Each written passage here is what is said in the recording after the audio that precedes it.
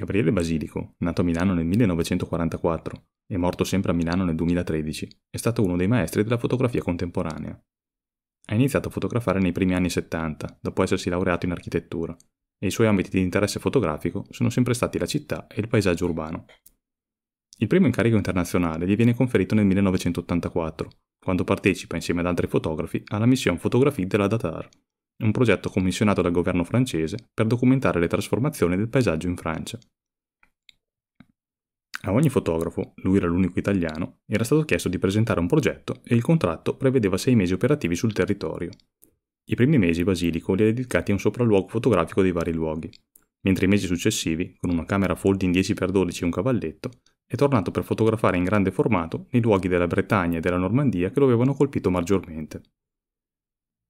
Da questo progetto nasce Bordemer, lavoro fotografico che raccoglie una selezione delle fotografie scattate da Basilico tra il 1984 e il 1985 in Francia, partendo dal confine col Belgio e scendendo fino a Mont Saint-Michel. La prima edizione del libro risale al 1990, mentre questa che sto sfogliando è la quarta edizione, pubblicata nel 2017 da Contrasto. Questa edizione è stata integralmente concepita e realizzata da Basilico e avrebbe dovuto essere pubblicata nel 2013.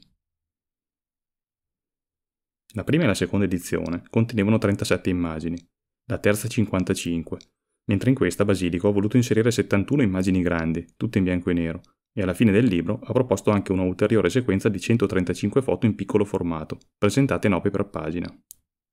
Sotto ogni immagine, oltre alla didascalia, compare anche un codice, che è quello con cui le foto di questo progetto sono conservate alla Biblioteca Nazionale di Parigi. Questa revisione delle immagini proposte nasce dall'idea di Basilico di considerare l'archivio come qualcosa di organico. Ha dichiarato Quando guardo l'archivio, la mia memoria va automaticamente alla ricerca di nuove relazioni tra le immagini. L'archivio mi aiuta ad avere il senso del tempo che scorre, ma mi suggerisce anche accostamenti e visioni nuove.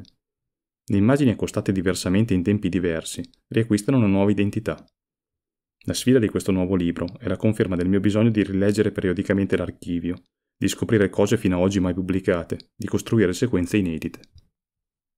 Tutte le foto sono state scattate con il banco ottico.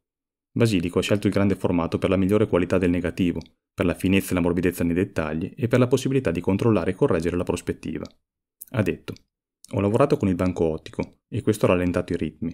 Muoversi, guardare, scegliere, decidere dove scattare la fotografia, montare la macchina sul cavalletto e magari decidere di non scattare.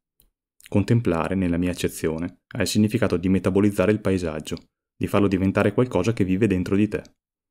L'immagine è una costruzione, un filtro che si viene a porre tra chi guarda e la realtà che sta davanti.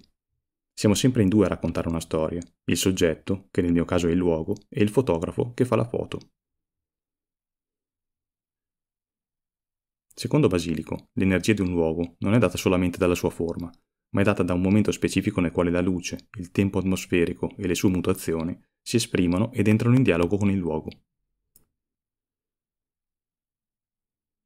Questo progetto fotografico costituisce una tappa fondamentale nella carriera di Basilico, un punto di riferimento essenziale, in quanto ha identificato un modo di procedere, precisato le implicazioni della sua fotografia, affermato uno stile che procede con il ritmo imposto dall'utilizzo della macchina a banco ottico.